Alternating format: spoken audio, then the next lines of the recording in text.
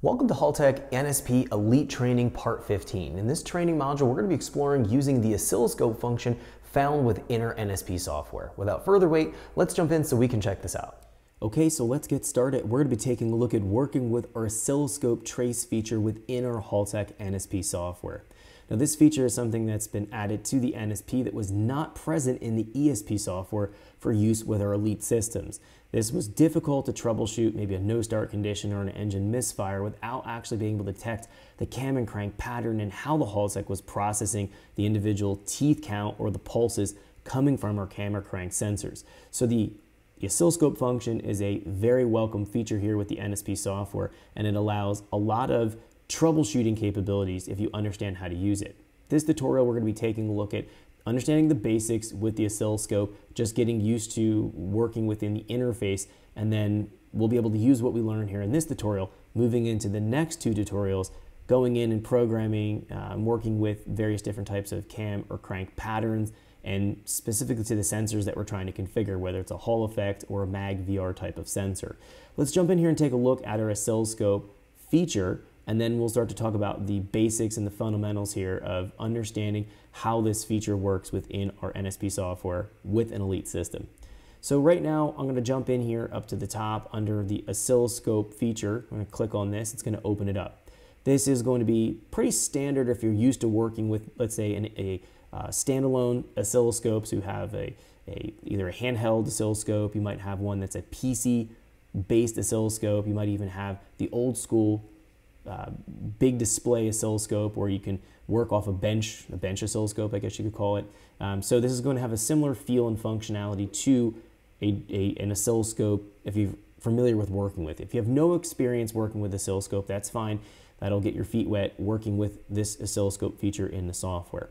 So the very first thing we're going to find here is that we have these four different lines in this graphical plot here in our window.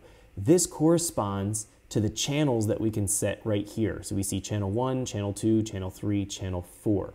Down at the bottom, we find these toggle buttons that are able to turn on or off a channel. Now in this case, we have our channel 1 here set to trigger voltage. That's the raw output from our crank sensor. So the trigger is known as our crank sensor.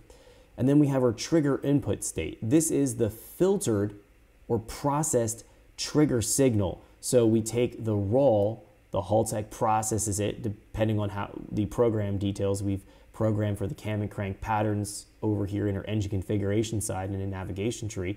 So as long as we've set everything properly there, the trigger input state should be counting every raw pulse into an actual pulse for the processing side of things. So it's going to be the process signal. This is the raw signal.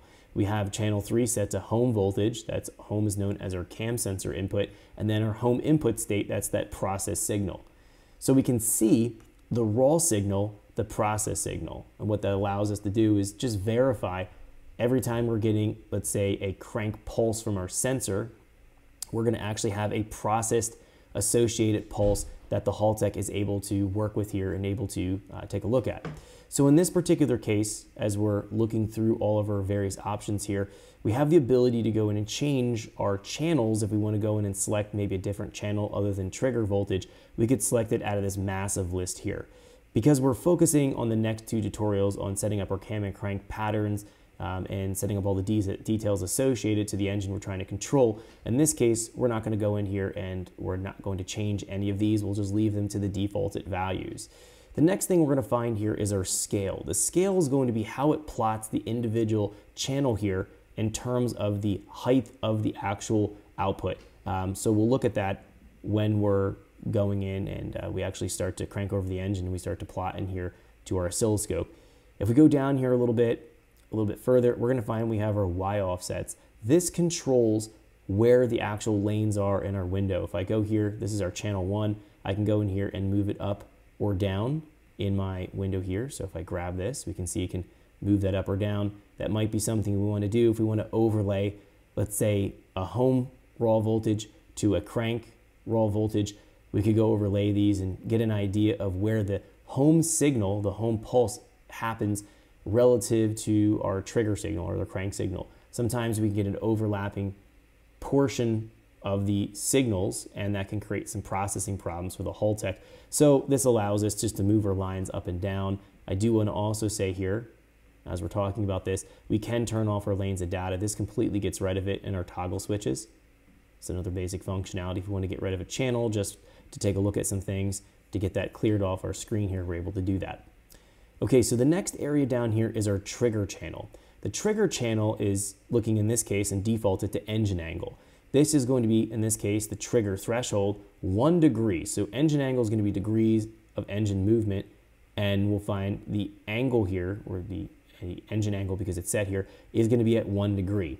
What this is going to do is set as a threshold that we have to exceed for the oscilloscope to actually start to run and to work. So right now we see this. Thanks for checking out our teaser clip. If you want to see the rest of this video and more than 500 hours of current EFI training we have to offer, make sure you click right here. If you want to go and check out more teaser clips from this training course, click here. And you don't want to miss any of the videos we're going to be releasing on this channel, so make sure you subscribe and click here. Thanks for watching, and I'll see you guys later.